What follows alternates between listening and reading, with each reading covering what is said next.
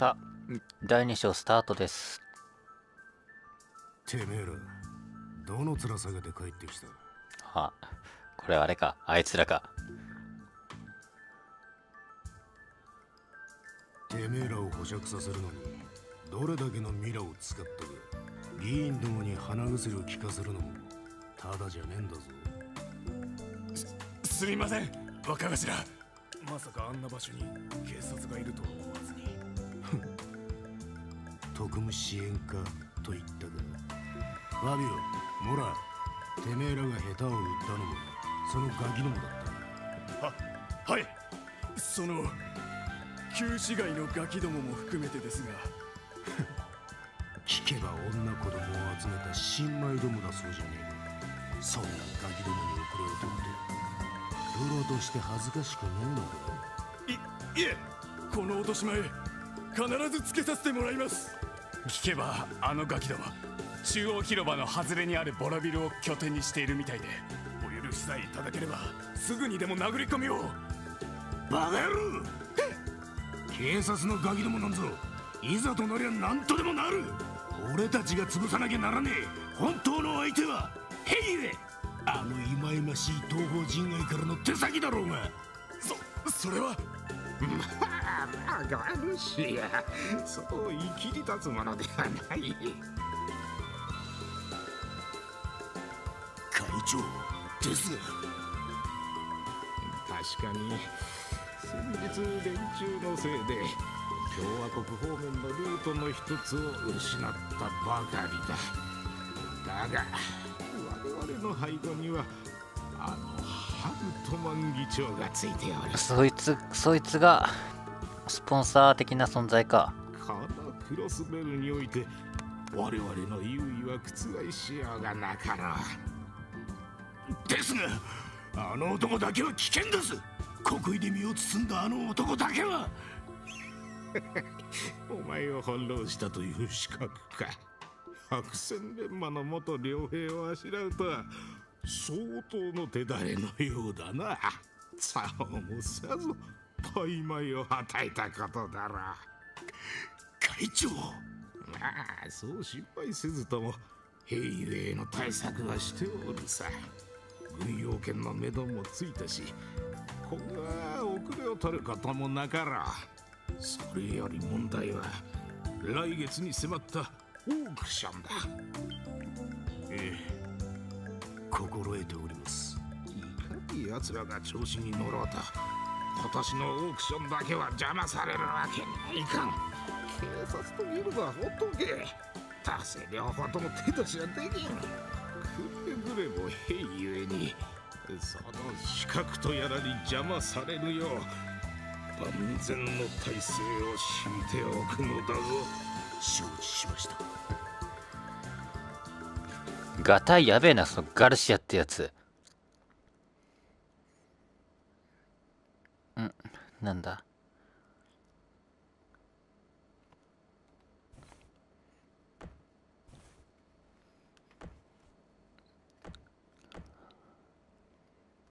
ダダンスダンスではないな。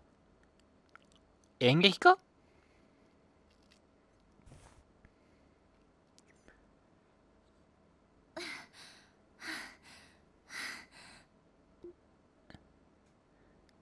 よかった。なんとかここまでは。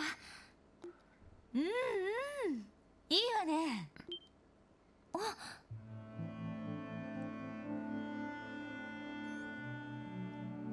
イリアさん。スピードとタイミングはいいわ。あとは節目節目で抑揚をつけること。音楽に乗るんじゃなくて踊りと演技で音楽を支配なさい。ああやっぱり演劇系あかくまで静かに清らかに月の姫ならではの威厳を持って。はい。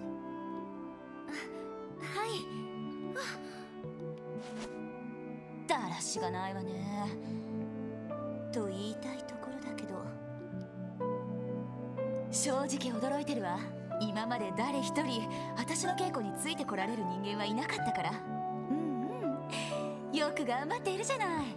イリアさんでも私やっぱり不安で本番でイリアさんの足を引っ張ったらどうしようって。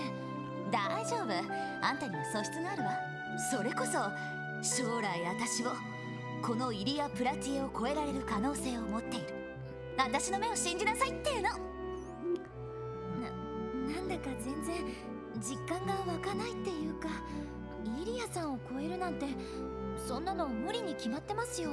ふふ。んまあ私も簡単には抜かれるつもりはないしだから一刻も早く私のいるところまで上がってきなさい私と本気でやり合えるライバルの卵くらいにはなりなさい無茶言わないでくださいよこの紫髪の女の子、あれか。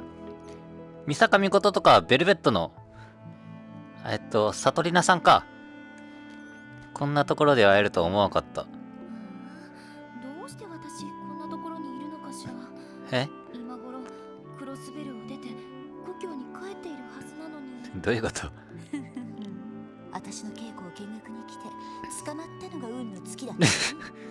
もう絶対に逃がさないわよ。拉致ったのか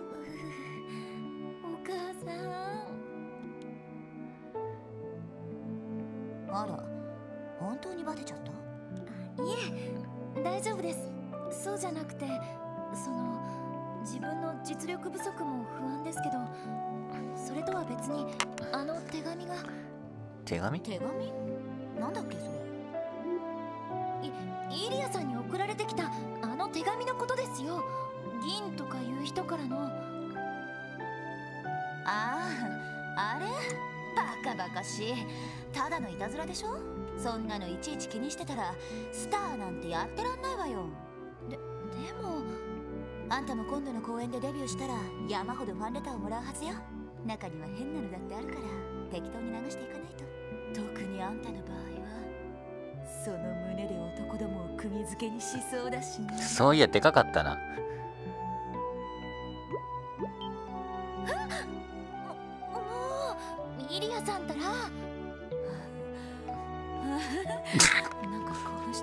おっさん。ちょっとだけでいいからもみしだかせてくれない？大丈夫？痛くしないから？はあエイド様。えー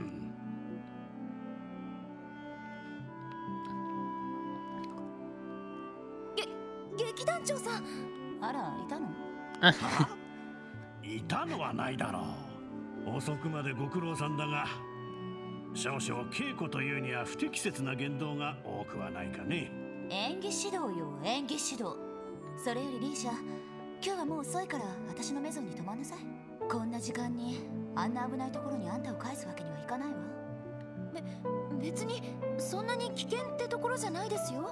皆さんいい人ばかりで越してきたばかりの私にも親身になってくれますしそれが下心だっつうの。うん、ありえそうだよ血ね。の。気の多い小僧この魅惑のボディを見たら我慢できなくなる可能性はあるわ。うん。問答無用で襲うわね。それは君だけだろう。ところでイリア君君に通信が来ているんだが。あら？ひょっとして彼女から？ああどうする？もちろん出るわ。ごめん。少し外すわね。はいい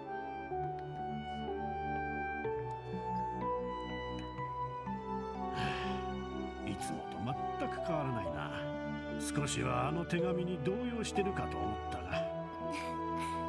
それがイリアさんですから。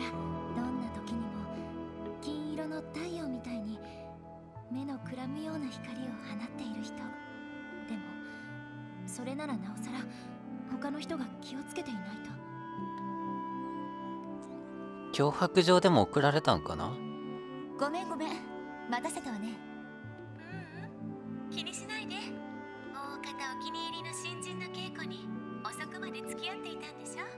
あれ？この声、ついでにイチャついて劇団長さんに呆れられていたんじゃないかうん、正解。ままさかそんなことあるわけないじゃない。そそれよりセシあルやっぱりセチルさん。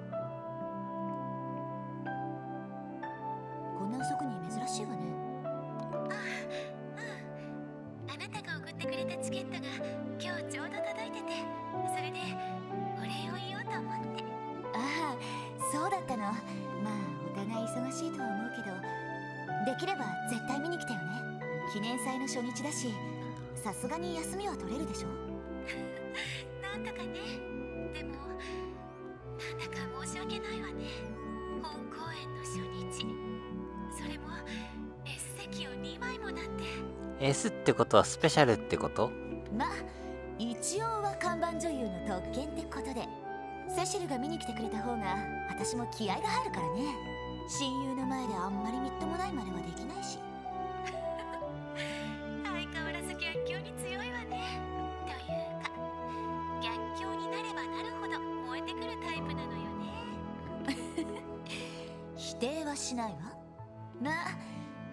上玉の男でもお飾りに連れてきなさいな。職場が職場なんだし将来有望な男も多いでしょそうね。あごめん。気にしてないわ。さすがに。もういい加減吹っ切れてるから。そっか。そうだ。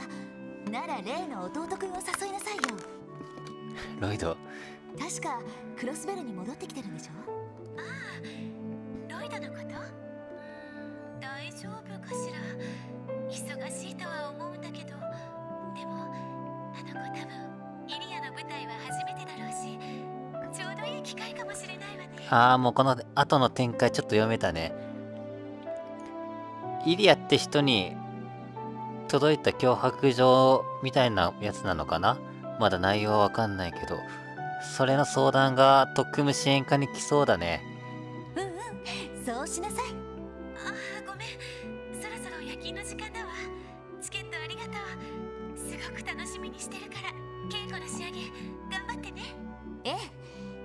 頑張って。3年か悲しみが薄れるにはまだ早いかもしれないわね。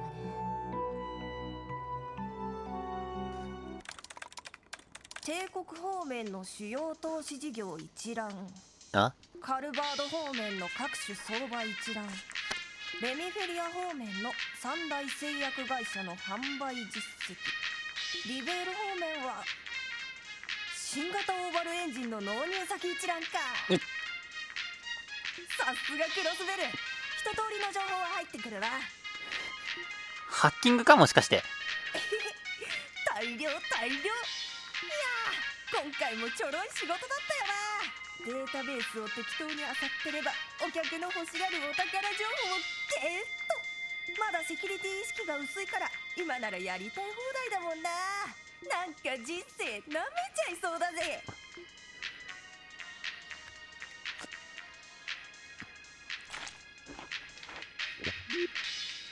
まず冷えたらピザなんて食えたもんじゃないな。やっぱりピザの情報を熱いうちが一番ってことか。さてと。ここから先はプライベートだ。IBC の端末を攻略するか。基地への正体を突き止めるかあレンが言ってたそばかすくんってこいつか！じゃあキティって。レン？なかなか楽しませてくれるじゃん。動力メール？背景？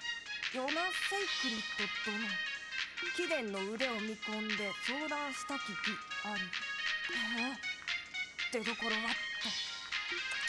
どこかの大型端末を経由してじゃなさそうだ。高音区のルーターより転送兵類貿易講師。ん？インかあはは面白くなってきたじゃん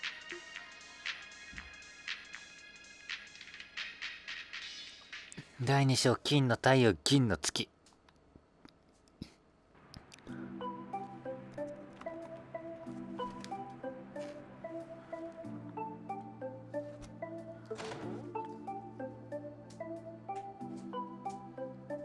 ただいま。帰ったぜ。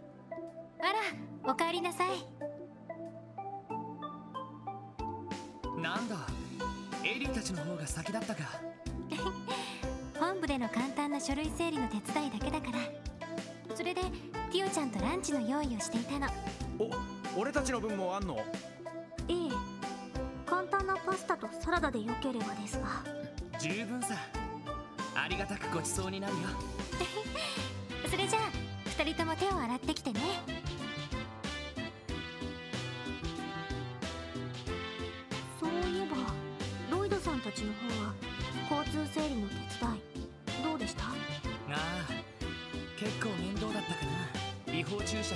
力車を力任せで壁にさせたんだ。それは。歓楽街が多かったな。ちょうど公演前だから盛り上がってるみたいだったぜ。そういえば来月いよいよ公開されるのね。劇団アルカンシェルの新作が金の太陽銀の月だな。俺もチケット取りたかったんだがあいにく来月分が全部完売でよ。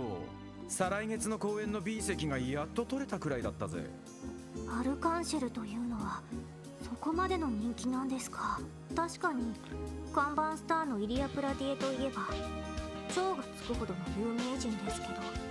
そういえばアルカンシェルの演目は見たことがあるけどイリア・プラティエの舞台は俺も見たことがないんだよやれやれ。不憫なことだね。この世には2種類の人間がいる。うん。イリア・プラティエの舞台を見た者とそうでない者だ。 by ランディ・オルランド。バイランディ・オルランド。なそんな大げさな。でも確かにすごいわよ。なんていうか一度演技を目にしてしまったら魂がわしづかみにされてしまうようなエリア見に行ったことあるのね。この世に天才がいるとすれば彼女は間違いなくその一人でしょうね。へえ。少し興味が出てきました。しかし最近回ってくる仕事が妙に多いとは思いましたがそれも原因の一つでしょうか？まあクロスベルの創立記念祭とアルカンシェルの新作のお披露目がちょうど重なってしまったから。創立記念祭？へえ何年目なんだろう？例年よりも警察の業務が忙しくなっているんでしょうね。まあこっちに回ってくるのはもっぱら雑用ばっかだけどな。まあまあそれでも一番最初よりは責任のある仕事も来ているしさクロスベルタイムズでも皮肉っぽくは書かれなくなったし。さすがにあれは書けないでしょ皮肉っぽくは。それでも未だに遊撃士とは比較されていますが特にあのエステルさんはやだな。あそうなんだよな。あっちは2人だけなのになんであそこまで活躍できるんだ？他の遊撃士と連携しているから効率的に動けているのかも。あの二人はな反則だよ。私たちは4人だけど他の課のバックアップはないし。いや見たところ鍵はあのヨシュアって野郎だな。突っ走りがちなエステルちゃんを実に効率的にフォローしてるぜ。戦闘にしても仕事全般にしても息の合い方が尋常じゃねえ。加えて踏んだ場数の多さだろうな。ということは私たちもまだまだということですか。ままあ俺たちだって十分成長してるさ、うんというか場数最初の段階に比べたらエステルたちよりは結構ヘビーよあなたたち。多分行くと思うぜ。この前から頼りになる助っ人も来てくれていることだし。サイト。そういやサイトは？今日は見てないわね昨日は屋上で一日中日向ぼっこをしてたみたいだけど。魔獣との戦闘になった時に助けてくれるのはいいんだが一体普段何してんだか。彼は誇り高いですから。私たち人間の決めたルールに縛ろうとしても無意味だと。いや警察犬として登録している以上ああ。そ最低限のルールは守ってほしい確かにね。しかし最初は周辺の住民に怖がられるかと思ったさか車の事故から子供を救っちまうなんてな。おいおいなんかグニャーって。ハンドルを切り損ねてフェンスにぶつかった運搬車。最初何の音かと思ったわね。それで慌てて外に出たら引かれそうになってた竜をザイトがさっそうと助けてるし。また竜か。いやあのアリオスのおっさんといい勝負の活躍だったんじゃねえか。ですねあれ以来西通りの人に特に人気ね。リュウ君たちもすごく懐いているみたいだし。そうだな。まあんまりザイトの人気に頼るわけにはいかないし俺たちは俺たちで頑張るとするか。賛成です。そんじゃ午後からは支援要請を片付けるとすっか。やっぱり来てるんだ。ティオが特殊クラフトサイト召喚を覚えました戦闘中に使用すると AT バーのところにサイトが現れ順番が回ると支援行動してくれます。なおストーリーの進行上このクラフトを使用できない場合もある。了解。まああるよね。手配魔獣。トルタあれか。アルモニカ村の。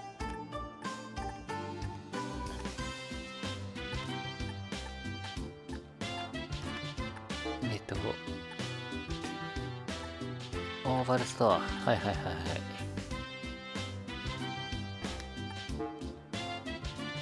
ソーニャさん。早速かい。でこっちも手配魔獣。